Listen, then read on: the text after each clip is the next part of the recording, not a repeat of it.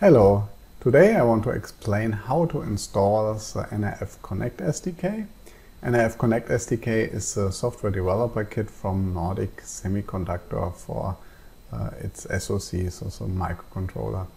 It supports their own developer kits and also developer kits from other brands and uh, of course you can also use it for your own boards when they're using the NRF um, microcontroller or SoCs. It's available for Windows, Mac OS and Linux. As basis is using the real-time operating system Zephyr. As IDE, it's using Visual Studio Code and supports, for example, Bluetooth Low Energy, BLE Mesh, OpenThread and Zigbee. But they have also boards, of course, of course for Wi-Fi, so it's support also Wi-Fi. Um, as basis is using Zephyr as a real-time operation system. Uh, this has a lot of advantages. Uh, first, Zephyr is um, open source. The hardware configuration is done via a device tree. So we can program our code independent from our microcontroller. Yeah, so we don't have to adjust this uh, every time with the microcontroller. Uh, when we change the microcontroller, we can still use our code. It supports multi-threading, um, there are driver for a lot devices and uh, like sensors and so on. You find there already included drivers. Uh, also it provides many useful software libraries and supports many kind of microcontrollers, Zephyr.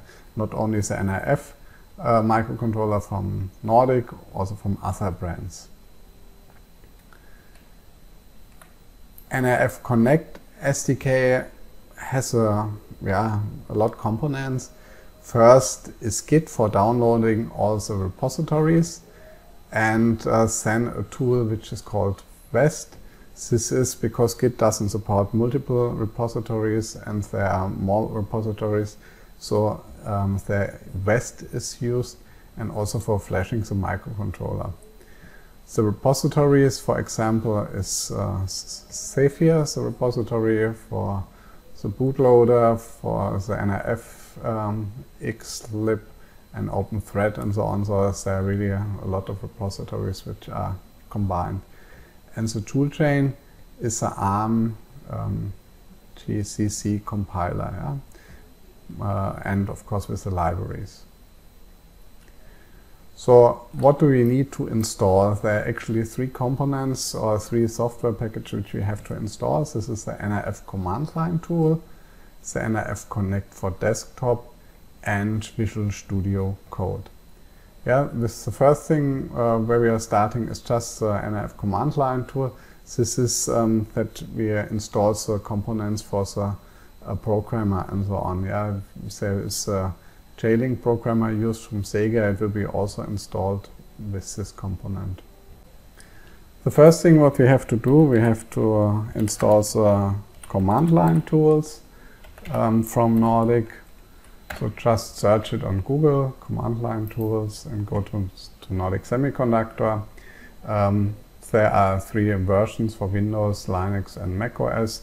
I explain here the installation process for Windows only, as for Linux and Mac OS it's similar, but maybe you have to adjust something a little bit uh, and look in the installation guide.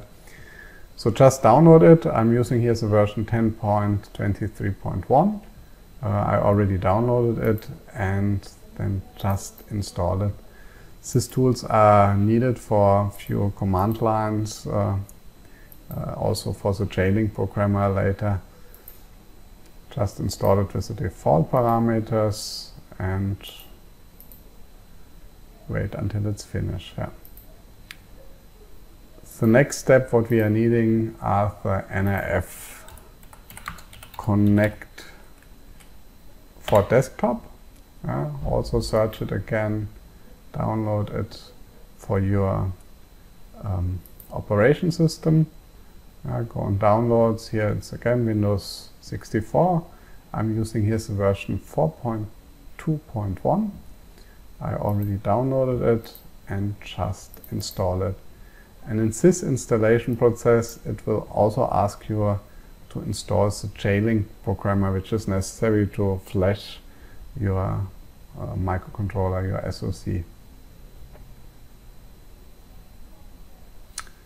Just click on yes on all and here seeing the JLink software setup. Also install it with the default parameter. You see this is a different installation process.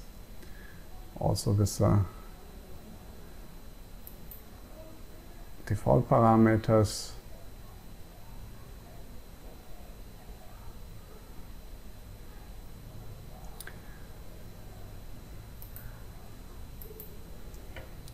And here you're seeing NRF Connect uh, for desktop. Um, there are a lot uh, applications for playing a lot around a little bit. What's for us important um, is maybe later as a programmer when we are using the bootloader for programming a device. Um, but here especially is the toolchain manager. We have to install it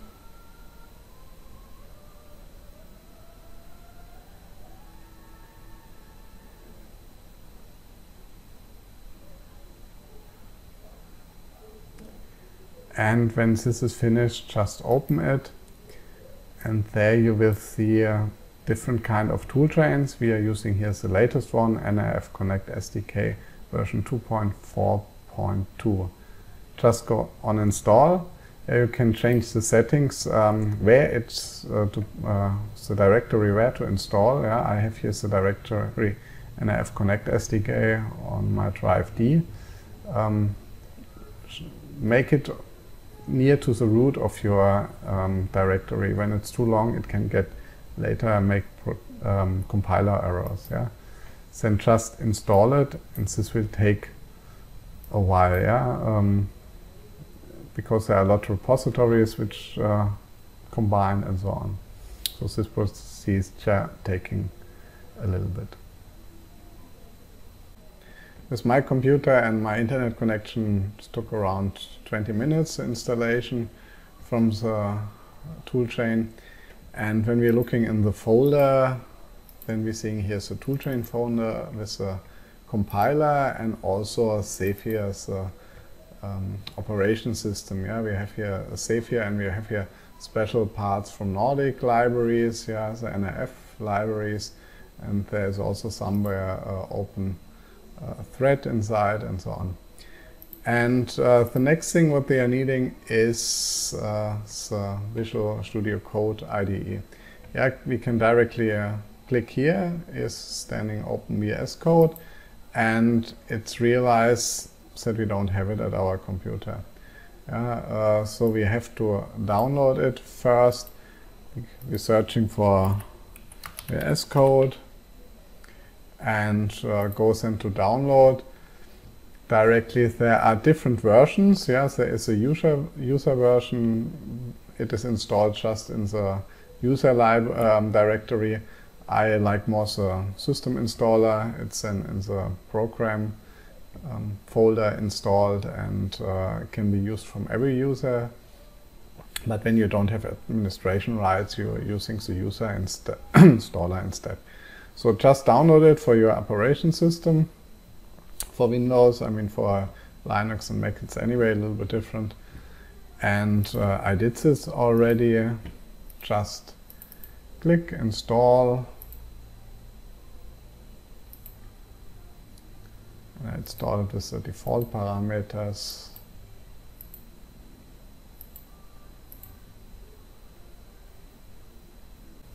So once the installation process is finished, we don't install it directly um, via the installation progress. We're starting it over OpenVS Code here, but also we have to uh, close it first since you don't know that uh, it's successfully installed. So I start NRF Connect for desktop again and go open on Open Tool Chain Manager and on Open VS Code. And there I will see that there are a few extensions missing, um, which we're needing for managing the project and for compiling and so on. And I go on install missing extensions. And when this is done, we're going on Open uh, Visual Studio Code. And we're seeing here our uh, Visual Studio Code with our extension here. We have here already NRF Connect, the extension button.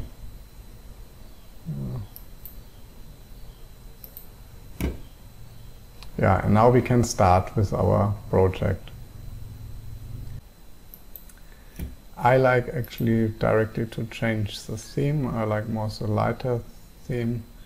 So I'm going here, color theme. Um, going here on light theme. And you're seeing here the NRF Connect um, extension. And we are having here a welcome. We're seeing here that we're having our toolchain and the SDK. When we're having multiple, one we can set here the default toolchain. Yeah. And for the first starting, we open an existing project and uh, not an existing, we are creating a new project and searching for the uh, copy a sample and searching for the Blinky example. Yeah? Just open it.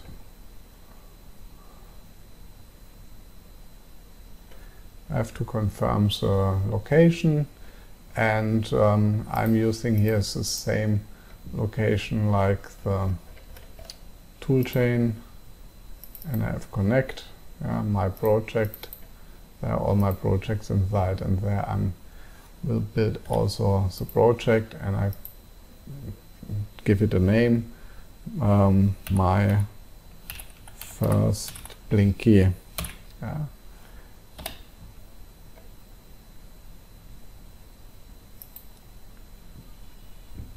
And then it's starting, yeah, I trust the author, and then it's starting in the Solution Explorer here, but we're going on NRF Connect again and seeing here our first application, my first Blinky, and we have to create a new build configuration. And um, I'm using here for the example here, I'm using the NRF um, 52840DK. Yeah, you can choose here different kinds of board and I just go on build configuration. And the first build is done and the uh, whole configuration is there, then we're getting here our application and we find also our source code here. It's the main file, main C. You're seeing here um, it using the device tree. It's a little bit complicated for the beginning, but it's just setting the GPIO pin with the LED as output and toggle it the whole time and then sleeping um, in every one second we're having the blink.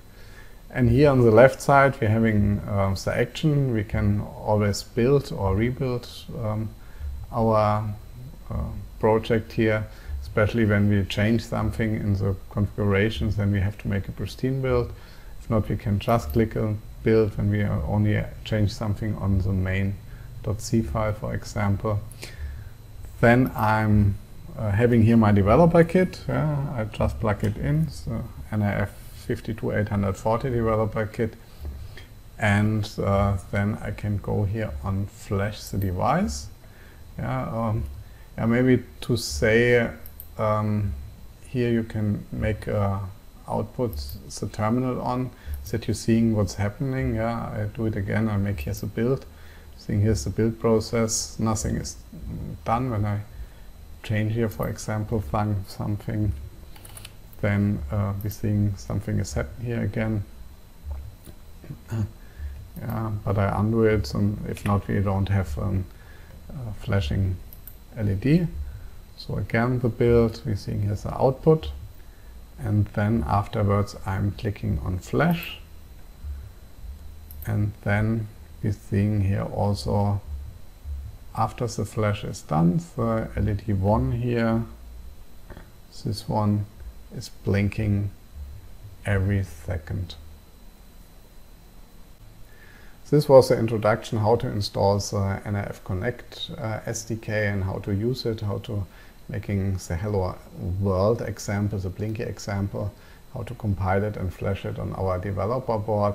In the next videos then we cover how the device tree and everything is working and how we can program the LED by ourselves. So if you like the video, uh, give it a like, a thumb up, yeah, and uh, subscribe to the channel and see you in the next video.